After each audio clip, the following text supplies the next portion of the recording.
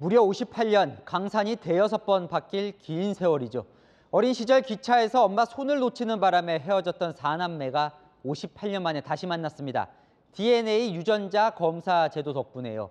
이 생사도 모르고 지낸 긴 세월은 눈물이 되어 흘렀습니다. 남영주 기자입니다. 부둥켜 안고 오열하는 60대 자매.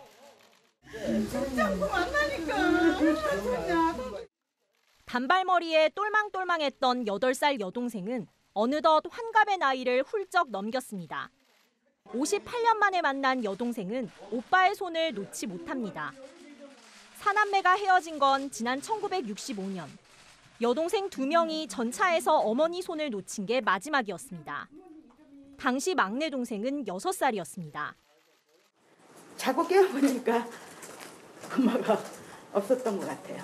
예. 그래서 그 전차를 내리면서 손을 놓치든지 헤어진 두 자매는 독학으로 학교를 나왔고 가정도 꾸렸습니다. 그나마 둘은 함께 보호시설에 맡겨진 덕에 서로 교류하며 지낼 수 있었습니다.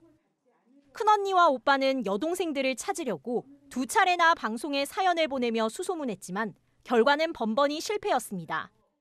그래도 큰언니는 희망의 끈을 놓지 않고 지난 2021년 11월 경찰에 도움을 요청했습니다. 1년 후 실종됐던 동생 역시 잃어버린 가족을 찾아달라며 경찰에 입안에 DNA를 채취해 맡겼습니다.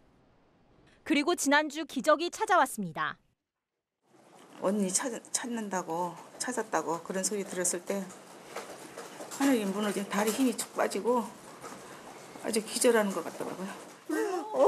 이거 다 보고 계시죠? 그래 불러. 해마다 발생하는 실종 사고는 약 2만 건. 장 씨 남매처럼 유전자 검사 제도를 통해 가족을 찾은 실종 아동은 지난해 9월 기준 687명입니다. 채널A 뉴스 남영주입니다.